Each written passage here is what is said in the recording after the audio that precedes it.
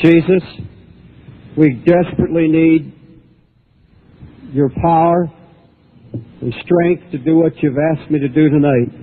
I ask humbly now to give me the courage and help me to say it from my heart without fear and trembling. In Christ's name, amen. God's placed me here tonight to warn of a coming hour of persecution. The Holy Spirit is my witness. This convention tonight is being warned here and now of an intense hour of persecution for all spirit filled believers. You're to prepare to be hated, rejected, maligned, and ridiculed. Now, if you believe Acts 2 4 about a special endowment of power from on high, then you've got to also believe Acts 2.17. Your sons and your daughters shall prophesy, and your young men shall see visions. I saw a vision this past April. So frightening it staggered my mind. And for the past three months, I've tried to shake it off, but I can't do it. I've only had two in my life. The first, 15 years ago, took me to the streets of New York, and every fact of that vision's been fulfilled. I've been terribly afraid to share this vision up till tonight for fear I'd be called a fanatic. But the same Holy Ghost that prompted me 12 years ago to share the story of the cross and switchblade has prompted me tonight to share this vision with you. In this vision, I saw five terrible calamities coming to America and the world. First of all, a worldwide recession caused by economic confusion. I saw in my vision at most a few more fat, flourishing years and then an economic recession that's going to affect the lifestyle of every wage earner in the world. The world economists are going to be at loss to explain what's happening. It's going to start in Germany, spread to Japan, and finally to the United States. Large and trusted corporations are going to go bankrupt. Many churches are going to go into bankruptcy. And some missionary projects are going to flounder. And one of the clearest messages I've ever received from God in my life is this. Use the next few good years left to prepare for a financial crisis. Get your house in order because hard times are coming. Number two, I saw nature having labor pains. Supernatural signs and changes that can't be explained by men. Worldwide disasters that we're witnessing right now, I see as labor pains in nature, which are going to become more and more frequent and more intense the closer we get to the birth of the kingdom of God. I saw major earthquakes coming to the United States. I saw worldwide famine, especially in China, India, and Russia. I saw the world's food supplies completely dwindled and millions starving. I saw coming a new kind of cosmic storm appearing as a raging fire in the sky, leaving a kind of vapor trail. Tornadoes, hailstorms, floods, and hurricanes are going to pound the earth with such intensity and violence that all of mankind is going to have to admit the world is under supernatural siege. Number three, a flood of filth and a baptism of dirt in America. I see the prophecy of Nahum coming to pass in the very near future. God said, I'll pour abominable filth upon you. This means triple X-rated movies on cable television after midnight. This means R-rated movies within the next few years on network television. This means our newsstands are going to be flooded with such filth that Playboy magazine will look like a puritanical piece of trash. It means sex education classes in school will be using animated cartoons and filmed dramatized sexual intercourse. And just when it appears there's going to be a successful campaign against smut, just when the Supreme Court seems to be ro- ruling against pornographers, and when it appears the nation's returning to old-fashioned moral standards, suddenly the floodgates are going to swing open, and Satan is going to vomit filth out of hell, and it'll be just as it was in the days of Lot, and will vex the souls of God's most devout, devout saints. Number four, rebellion in the home. I see the new number one youth problem in America and the world as hatred toward parents. Now, I'm reading this tonight for fear I change a single word of what I've seen and had to write down as the Holy Spirit laid on my heart. A man's worst enemies will be they of his own household, the Bible says. Children are going to turn against their parents with a passion.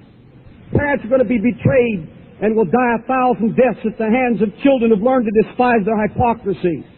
There are going to be millions of stay-at-home runaways who need not go away anymore and run away from home because their parents are going to give them what they choose and what they want as long as they stay home.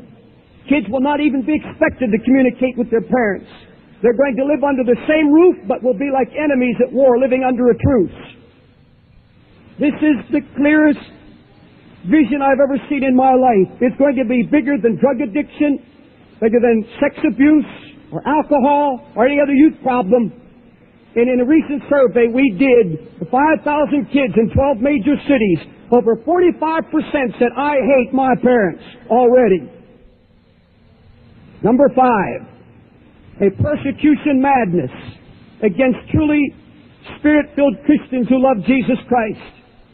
Now, I don't have time tonight to go in all the details of these four calamities I've just mentioned.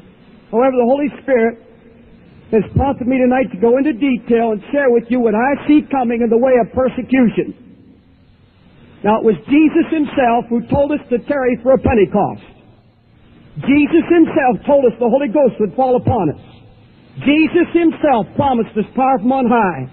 But it was also Jesus Christ himself who predicted persecution was coming for all true spirit baptized believers. Jesus predicted it. John 15, 18. Jesus said, if you were of the world, the world would love his own. But because you're not of this world, but I've chosen you out of the world, therefore the world will hate you. Remember the word that I said to you, the servant is not greater than his Lord. If they have persecuted me, they will also persecute you. If they have kept my saying, they will keep yours also. Here is another one. The brother shall deliver up the brother to death, the father the child. Children will rise up against their parents and cause them to be put to death. Ye shall be hated of all men for my name's sake, but he that endureth to the end shall be saved. But when they persecute you in this city, run to another, because I tell you, you will not have gone over the cities of Israel till the Son of Man be come. The disciple's not above his master, nor the servant above his Lord. It is enough for the disciple that he be as his master. Now the purpose of this coming persecution that I see in the Spirit will be to separate and scatter the true believers from the false. Time is running out, and the gospel still has to be preached to all nations before Jesus comes. Now the Holy Ghost has been poured out upon thousands. But just as in the early Pentecostal outpouring, disciples still sit around singing and rejoicing and sharing only with each other. Among us are still those who talk in tongues and still live like the devil. But he's going to lay the axe to the root. He's going to separate the wheat from the chaff. He's going to scatter his seed to the far corners of the earth. And God's word will be fulfilled. 2 Timothy 3.12. All that will live godly in Christ Jesus shall suffer persecution. You quote the scripture, they shall be filled with the Holy Ghost. They shall speak with tongues. Go all the way if you're going to be the charismatic Christians. Read it all, accept it. All, all, all, A double L L. All that will live be in Christ Jesus shall suffer persecution. Now let me share with you what the Holy Spirit's revealed to me in vision concerning this persecution. Number one, it's going to come as a persecution madness on the earth. I see now persecution coming such as mankind has never before witnessed. This will be a persecution of true Jesus, Jesus believers, and it's going to rise like a many-headed monster out of the sea. It'll start slowly, subtly, coming at a time when religious freedom appears to be at a peak. But it's going to spread the United States, Canada, the entire world, and finally become a kind of madness. That madness is already upon us. The Antichrist spirit is entering the hearts of certain men in high places already. Government, in the judicial system, and it's led to a spiritual wickedness in high places. And this spiritual wickedness in high places will eventually and soon lead to an harassment not only of officials, but those in churches, missionaries, and ministers. There's already evidence of this harassment I see a time coming when nearly all evangelical missionary projects, all religious radio and television programming, all incorporated missionary societies are going to be so closely monitored questioned and badgered by government agencies, they'll be cautious and worried about moving or expanding in any direction. Number two, I see rising a super world church. I see the formation of a super world church council consisting of a union between liberal ecumenical Protestants and the Roman Catholic Church, joining politically hand in hand to create one of the most powerful religious forces on earth. And this union is going to start as a cooperative charities program and it will end in a political union. This visible super world church is going to be spiritual in name only, freely using the name of Jesus Christ, but will in fact be anti-Christ and political in many of its activities. This powerful church union will be deeply involved in social action, tremendous charity programs, and ministries of compassion. Its leaders will make statements about meeting human needs. They'll send out a call for social action, political intervention, and a greater voice in world affairs. There's going to be, fourthly, a sudden mysterious chain of events just when it appears the ecumenical movement is nearly dead, a rather mysterious chain of events will bring about the framework for this union. Rome is going to insist upon and receive concessions from the Protestant ecumenical leaders. The Pope will be considered more of a political rather than a spiritual leader of this church union. Protestant leaders of the ecumenical movement are going to insist upon and receive concessions from Rome. Protestants will not be asked to consider the Holy Father as the infallible head of the church. They accept his political leadership without accepting his role as Peter's successor. Now, I'm not suggesting that the Pope or any of these church leaders involved in the super church will be engaging in Antichrist activity. The Bible talks about something about that line, but I can't get into it now. The Bible, as far as I'm concerned, though, I see something that frightens me, the very core of my soul. I see an army of career people invading the most influential post in the super church. They're going to be ungodly, antichrist people, obsessed with the idea that this super church must become a big political power, strong enough to defeat anybody who opposes its actions. And while those that are in leadership are speaking about miracles and love and reconciliation, these hirelings who work under them are going to be harassing and persecuting every religious organization that does not come under their leadership. Most of the domestic groups that we have to pay attention to here are white supremacist groups. They're anti-government, uh, in most cases uh, anti-abortion. They are usually survivalist type in nature, identity oriented. If you recall, uh, Buford Furrow came to Los Angeles in, um, I believe it was 1999, when he was went to three different Jewish institutions, museums, and then wound up shooting people at a um, children's uh, community center, and then shooting a Filipino postal worker later on. Uh, Matthew Hale, who's the Pontifex Maximus of the World Church of the Creator out of Illinois, and Ben Smith, who went on a shooting spree oh, in three different cities where he killed a number of African Americans and Jews uh, and, and um, Asians that day. Those groups are um, groups that claim to be extremely anti-government and um, Christian identity oriented.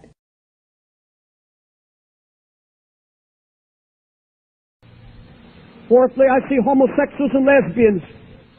Welcome to the Super Church Union. I see this Super World Church in the guise of, mis- of understanding, accepting homosexuals and lesbians into its fellowship. Homosexuals, eh, homosexual and lesbian love will be vindicated by the leadership of this church union Homosexuals will not only be welcomed, but they'll be encouraged to continue in their practices. Homosexual and lesbian ministers will not only be ordained and given places of authority, they'll be heralded as a new breed of pioneer evangelists introducing new concepts of love and evangelism. I see in nearly every major city in the United States and around the world, homosexual churches catering exclusively to the spiritual needs of their own kind with full recognition from organized religion. Their Sunday school and church literature distributed to their children will suggest to teenagers that homosexuality is a normal and acceptable form of Christian practice. New dancing in the church. New dancing in some of these member churches will be excused as an artistic form of worship. Men are going to become worshippers of the creature more than the creator. And God will be forced to give these kind of worshippers over to their sins. And as a result, many will be given over to reprobate minds, creating a new form of mental illness that will not respond to any kind of treatment. Now, God will not let that go unanswered. And although new dancing will not become widespread, it's going to be accepted by many church leaders in the future as a legitimate expression of worship. Next, occult practices within this church. I believe this super world church will condone certain occult practices. They'll set up study committees to defang the devil and remake his image into one of a non-entity, bland, someone not to be feared. Now, in some of the most respected, wealthy churches in America, seances will replace prayer meetings, and that's already happening. More and more ministers are going to be intrigued by the supernatural claims of the spiritualist and Satanist groups. And I see the day coming when certain ministers who've never been too close to Jesus will get very close to the devil. Satan is going to appear as an angel of light to deceive if it were possibly the elect, the chosen of God. Satan's own ministers will appear as these angels and they'll try to spread the message within the church that the enemy, Satan, is not to be feared. The super church will never officially accept the occult practices outright, but phrenology, palmistry, fortune telling, and horoscopes will be widely respected and accepted. Now, listen closely. Next, I see the rise of another super church a supernatural, invisible church, a union of deeply spiritual followers of Jesus Christ, bound together through the Holy Spirit, mutual confidence in Christ and His Word. This supernatural church of true believers will become a kind of underground church and will include Catholics and Protestants of all denominations, young and old, black and white, and people of all nations. And while this visible super world church gains political power, this invisible body of believers will grow tremendously in spiritual power. This power will come from persecution. The persecution madness that's coming upon this earth will drive these Christians closer together and closer to Jesus Christ. There will be less concern about denominational ties and more concern and emphasis on the coming of Jesus Christ. The Holy Spirit will bring together in one all people of all faiths and walks of life. And although this supernatural church already exists around the world, in the days coming soon, it will become politically almost invisible.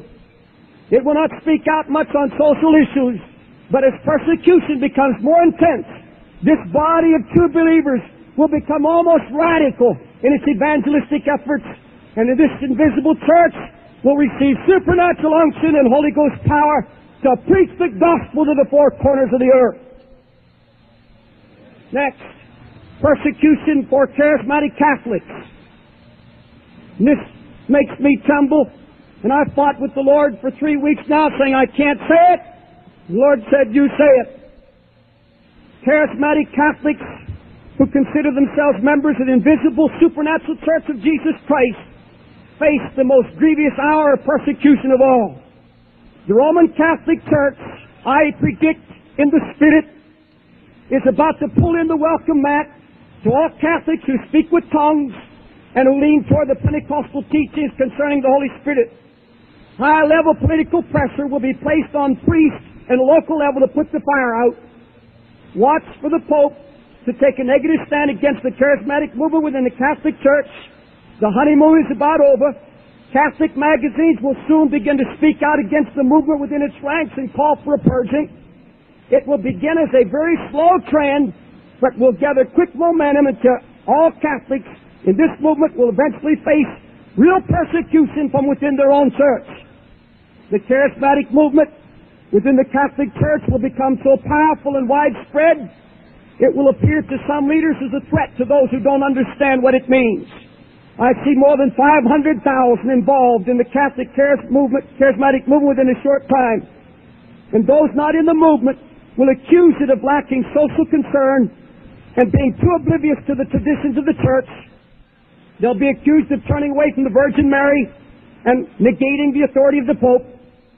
And that every charismatic Catholic who boasts about a baptism of the Holy Ghost prepare for persecution. It's not going to happen overnight, but most assuredly the day is coming when every single Catholic who's experienced a spiritual awakening will have to understand where his loyalties are. Some will be forced to return to tradition, allow the experience to be frozen. Many others, however, will soon discover that they have more Christian love, fellowship, and spiritual rapport with other spirit-filled Protestants and Catholics who have now centered their lives around the person of Jesus Christ, the fullness of the Holy Ghost, and His soon return.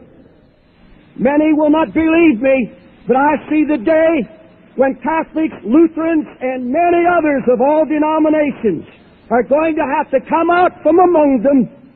These new Christians will not call themselves Protestant or Catholic, but simply renewed Christians.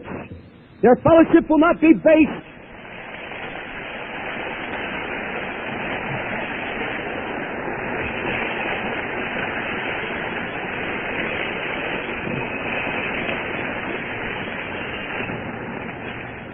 Their fellowship will not be based on the experience of speaking with tongues, but will be centered on the Father and His Son, Jesus Christ. That is our fellowship.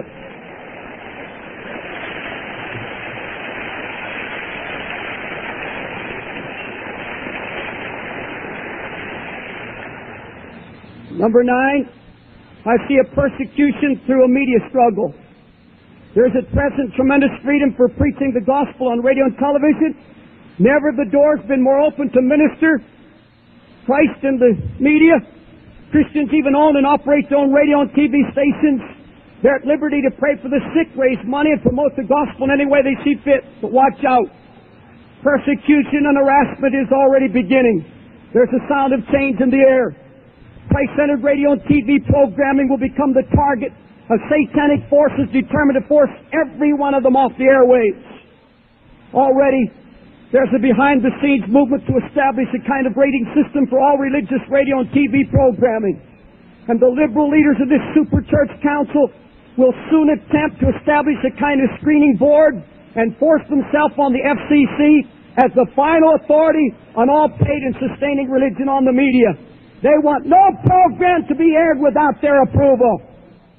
The doors that are now wide open are slowly but surely going to close. Christian radio and TV stations should begin to expect persecution and harassment. Atheistic and antichrist forces are even now preparing litigation against certain religious stations. And I see Satan trying to bog down these programs and stations in red tape, legal proceedings, and tax problems. And Satan will use every tactic at his disposal to remove all Christ-centered programs from the media. And the message I have for all of you who minister in the media is this from the Holy Spirit. Work while it is yet day, for the night cometh when no man can work. And that's a message for the media. Persecution from Hollywood. Watch for Hollywood to step up, its attack against true religion with more expose type films. The film Marjoe was the most brazen attempt by the devil to put down and ridicule all religion having to do with the blood of Jesus Christ. Never in American history was it done before. Revivalists and evangelical ministers are going to be stereotyped as Elmer Gantrys, charlatans, cheats, money-mad comedians. More and more movie makers are going to attempt to debunk our morals. Gospel preaching churches and ministers are going to come under special attack, while at the same time the occult and witchcraft will be glorified and sensationalized. Next, persecution from television comedies. TV comedy shows the Holy Spirit has shown me, we'll become bolder and bolder and we'll poke fun at Christ and all true Christians. Comedy writers are going to strike out blow after blow designed to put down sacred traditions. And eventually these shows will be punctuated with four letter words and anything will go on television. Television programmers will become absolutely blasphemous and millions and millions of unbelievers will sit in front of their TV sets laughing and mocking as subjects once considered sacred are undermined and mocked and ridiculed. And last night on the Today Show it was brought home so vividly as Impressionist David Frye maliciously mocked Billy Graham as a money raiser and a money grabber. Made my blood boil. Marjoe sat there knocking Oral Roberts and Billy Graham and it came home to me so hard. David, this is just the beginning. Talk shows everywhere, movies, theaters, debunking, placed in his blood and glorifying the devil. Next, persecution through taxation of churches. And you listen to me. There's coming an attempt to tax churches and church-related organizations. These atheistic forces, with the help of the Civil Liberties Union, are going to push this matter to the Supreme Court. They're going to have a temporary setback, but it's not going to stop them from pressing for congressional action. And a legal setback in the courts will not stop it. In spite of court decisions, we are eventually going to have taxation of our churches. I see it coming as an insignificant, very small kind of property tax, but it's soon going to burgeon into a monster-sized tax that will push some independent churches and missionary societies to the brink of bankruptcy. The IRS, Internal Revenue Service, one day I see becoming one of the most powerful weapons against the Church of Jesus Christ. It would then be possible for government agencies to maintain a stranglehold on churches. And government agencies, even now, are delving into the private books of almost every non-profit religious organization in America, including ours right now. Every television going to be political harassment, red tape, acute financial problems, federal and state aid is going to come with more and more strings attached to it. Secondly, an almost unexplainable student mood, apathy, unrest, and disrespect for leadership. Thirdly, you can expect the faculty to be infiltrated by teachers and professors who have become the unwitting tools in the hands of Satan to undermine the foundations of faith and leadership.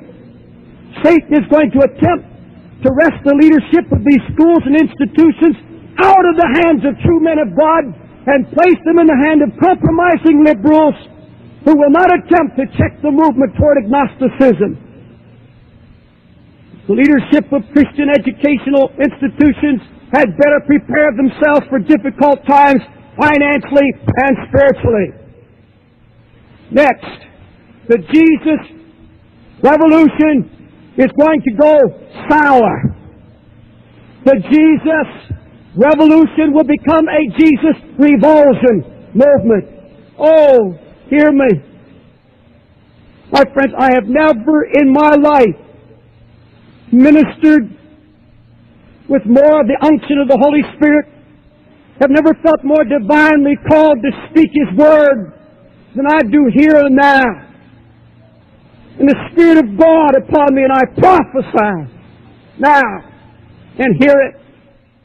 The Jesus revolution among young people will stagnate, and undisciplined followers are going to return to their drugs, their free sex, and their old ways of life.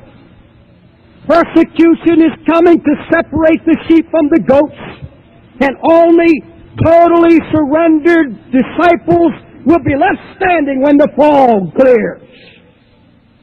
The time is soon coming when it will no longer be popular to be a Jesus person. The Jesus songs will not be on the hit parade. His name will no longer be a commercial asset to Broadway or Hollywood. The world that once used the name of Jesus so promiscuously is going to turn on him and put him down. I see a replay of the first recorded Jesus movement in history. Remember when Jesus came riding into Jerusalem on a donkey to the hurrahs and the hosannas? and the praises of thousands that were caught up in this Jesus movement. Young people ripped branches from palm trees and spread their jackets on the ground so a little donkey could walk over. They cried, Jesus, Jesus, Hosanna, our King is coming. But that first Jesus movement soon went sour. A very short time later, that same Jesus stood before that same angry crowd and now they were screaming, crucify him, away with him. The same crowd turned against him. And the modern Jesus movement has had its crowds and its excitement. They sang the praises of Jesus and Jesus was really in. But look what's happening now. The joy poppers are going back to drugs, and a Jesus revulsion movement is now springing up as a result of the occult practices of young people in our schools. Young devil worshippers have started nucleus of hate Christ clubs in our schools already. Hate Christ clubs, whose chief aim is to harass Jesus people and refute the claims of Jesus Christ.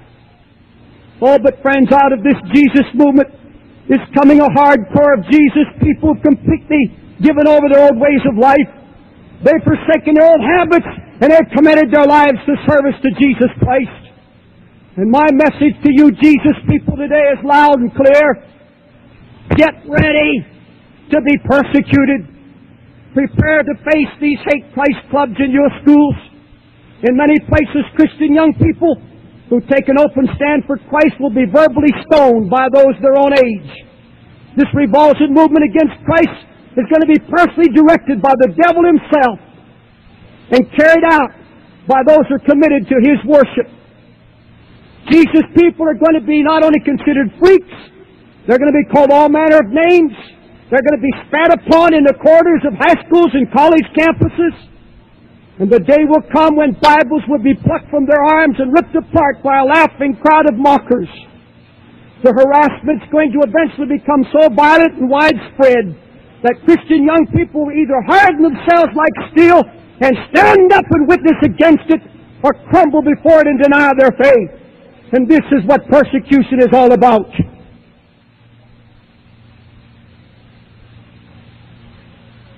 I see coming also a spiritual awakening behind the iron and bamboo curtains. While the free nations are experiencing this wave of persecution, the iron and bamboo curtain countries will experience a short period of spiritual awakening. Those who have lived under religious, terrible religious persecution are going to enjoy a limited time of freedom. God's Holy Spirit's going to split the iron and bamboo curtains and He's going to seek out and find hungry hearts in Russia and China and Eastern Europe. No doubt about it. God's promised to pour out His Spirit upon all flesh. He did not exclude these nations.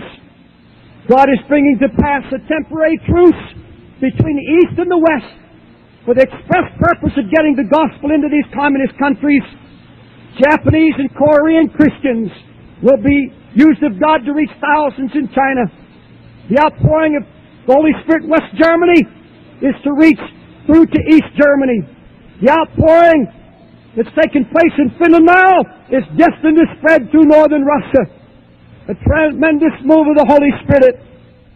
Ironically, while the doors are beginning to close on this side of the curtain, the doors will open on the other, and after a short period of freedom and spiritual awakening, the doors will suddenly close and those nations cast into horrible persecution.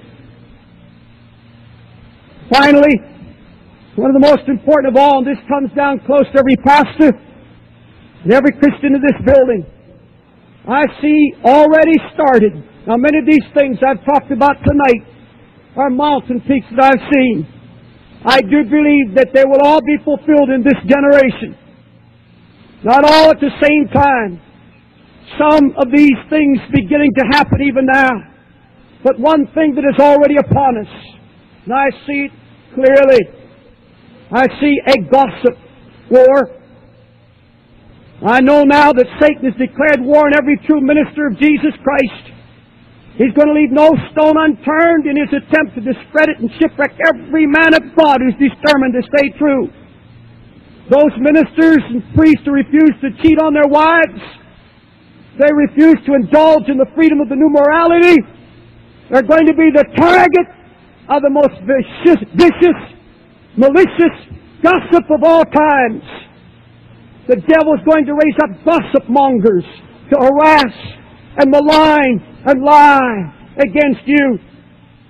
I believe that Billy Graham and other great gospel ministers throughout the world are going to face more and more ridicule gossip and misunderstanding by the press and by liberal people in the media.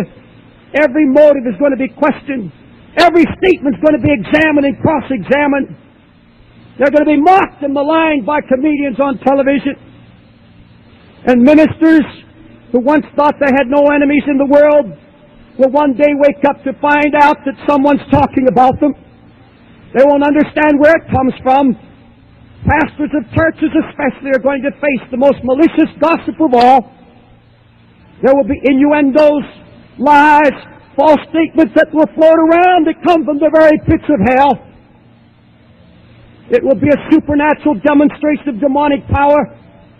There will not be a single true minister of the gospel immune. And the wives, hear me now, the wives of those ministers who are married are also going to come under the attack of malicious gossip. Legions of lying spirits have been turned loose upon the world with the single purpose of accusing Christians through gossip and slander to rob them of their victory and faith and trust in Jesus Christ. This gossip war will not only be aimed against ministers, but against every true spirit-filled believer of Jesus Christ. Even the teenagers are going to see what it's like to face malicious gossip. And now, I come to my final word from the Lord. You have no idea. You could not begin to know the battle I've had to stand here and say what I've said tonight. I've had the enemy tell me everybody will call you a fanatic. Why risk 15 years of a certified ministry where people respect you and stand out like a fool? But friends, I can't stand here tonight honestly and just tickle your ears. The ends of the world have come upon us. And I've always been a positive preacher. I've never preached much about judgment. But my friends, you can't talk about the coming of Jesus Christ until you open your eyes and see that all that's happening around us now, the Lord is saying, look up when you see these things begin to happen and rejoice because your redemption draweth nigh. And I bring you to my final word.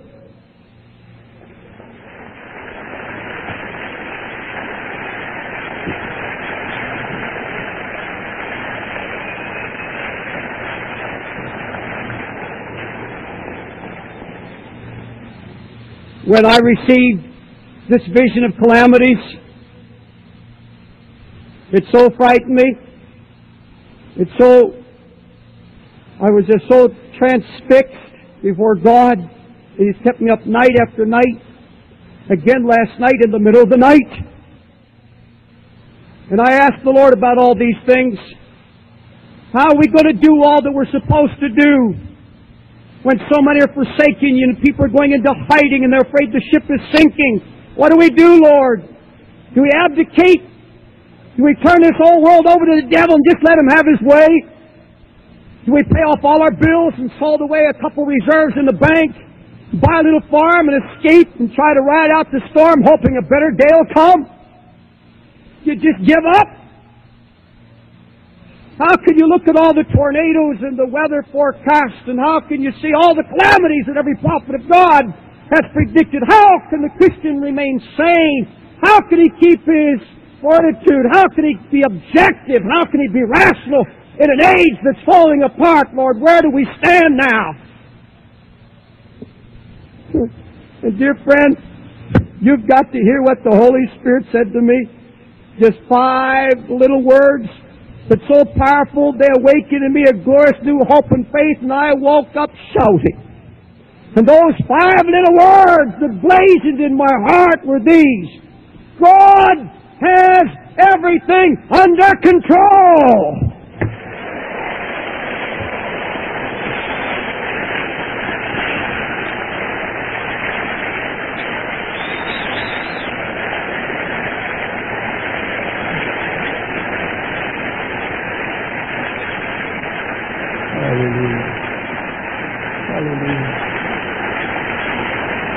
Hallelujah.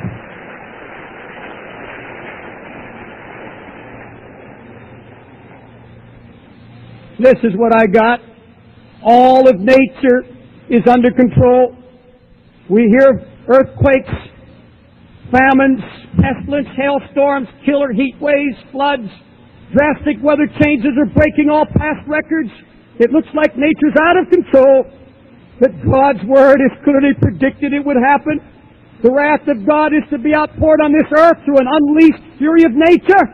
Because God is warning mankind that judgment is coming, and these are labor pains, and the closer we get to the birth of His kingdom, more frequent and intensive we'll get until the birth of the kingdom of God. And it was God who told Job that He shut up the sea with doors. The sea can't cross the door. He set bars and doors to stay the proud waves. God said He took hold of the ends of the earth that the wicked might be shaken out of it. Reserved the treasures of hail and snow against the day of battle. He's divided the water courses for the overflow of the waters. That's the flood. He set the domain of the earth and the ordinances of heaven.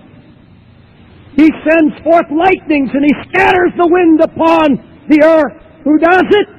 God does it. Child of God, in these days to come, the Holy Spirit would say to you, don't fear the fury of nature. God is still King of the flood. And you look upon those floods, earthquakes, and hurricanes, and you say to yourself, that's my God talking. He's calling, He's chastising, and He's saying, get ready.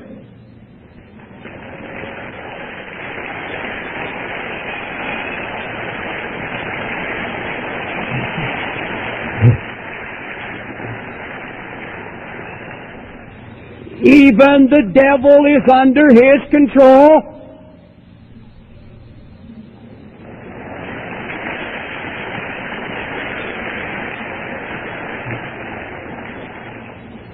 As with Job, God may permit him to touch every material, physical thing around you, but you hear it? Satan cannot possess you or rob you of your faith in God. The devil's power is limited, and the Bible said even a baby Christian can put him to flight simply by resisting into the Word and the blood. The Bible said resist the devil and he will flee from you. Does that sound like defeat? Does that suggest a victorious devil? Never. God has everything under control, and we are under His control, so we are not afraid of the devil. It is the fear of the Lord that's the beginning of wisdom, and God's message is this. I have not given you the spirit of fear, but of love and power and a sound mind.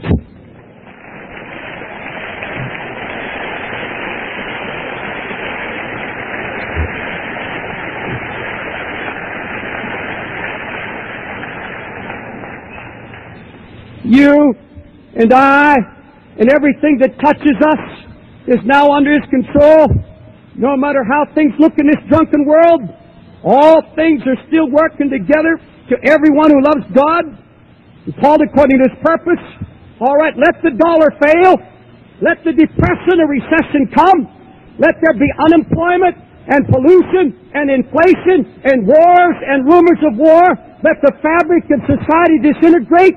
For the true child of God, everything is under control. It doesn't matter. Nothing can harm you. He said, look up and rejoice and be happy.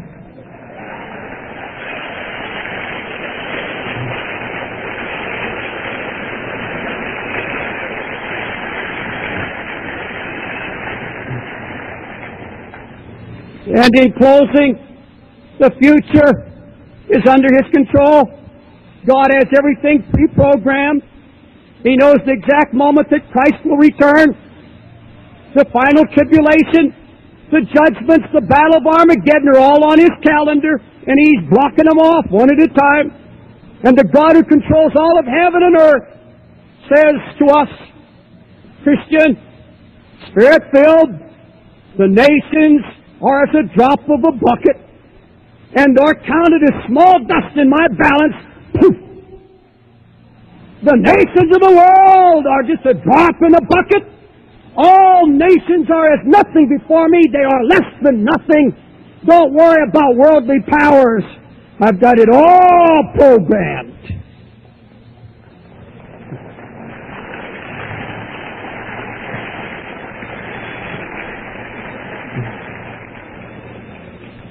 God is still counting the hairs on our head. He's still counting the sparrows that fall. He's still hearing petitions before they're asked. He's still answering before being called. He's given abundantly more now than we could ever ask or think. So, saints of God, wake up. He's still saving and healing and baptizing and is getting his house in order. And to fear is to blaspheme. And now you can go over tonight and go to sleep and say to your heart, God has everything under control. Hallelujah. No clapping, please.